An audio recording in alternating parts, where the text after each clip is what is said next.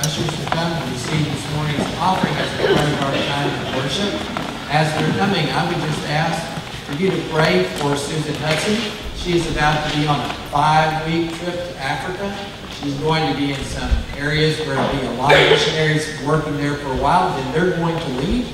She's going to be with a smaller group, and they have faced some pretty challenging things in the past, including people involved in demonic activity, uh, people who were possessed, and that sort of thing. So you can imagine, uh, having seen that before, she's excited about the fact that you, as a church family, will be praying for her.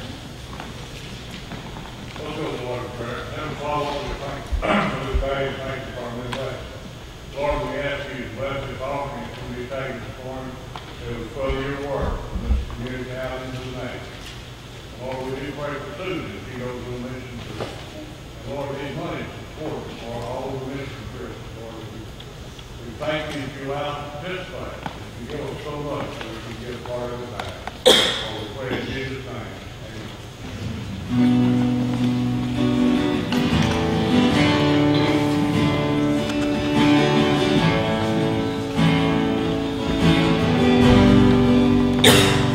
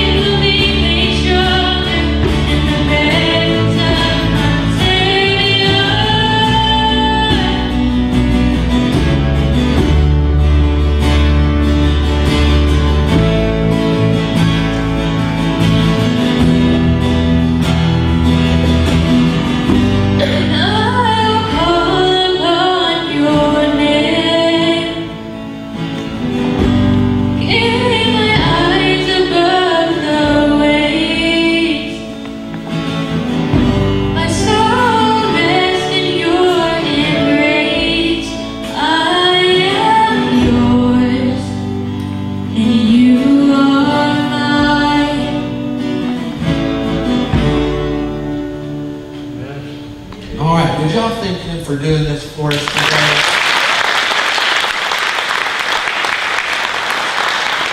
I don't know if you realize how many churches don't have the ability to have the student ministry lead the whole congregation in worship, folks. This is incredible. We thank y'all for it.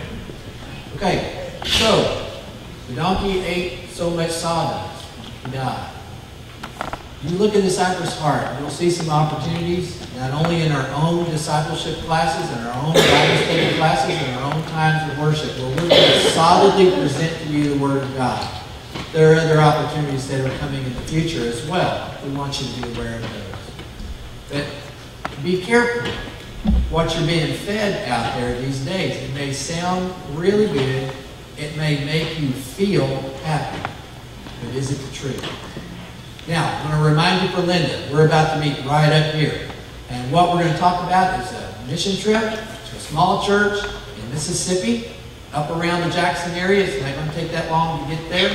We'll be there. We'll be able to, depending on what other stages of work they have going on, what construction or remodel we may do, Bible school work, all kinds of maybe revival services. I don't know everything that's going to happen. Linda may have some information.